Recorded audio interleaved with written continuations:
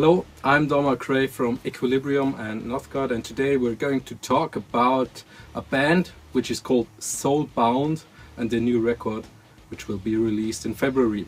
The record is called Myllennium and I've got the honor to talk about it.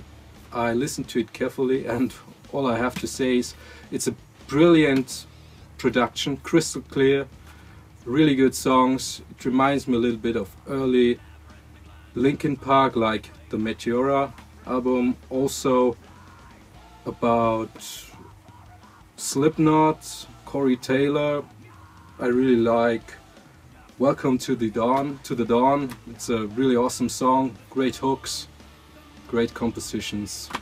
Yeah if I wouldn't ha already have it I would definitely buy it. So get out check it out and buy this great CD yeah see you cheers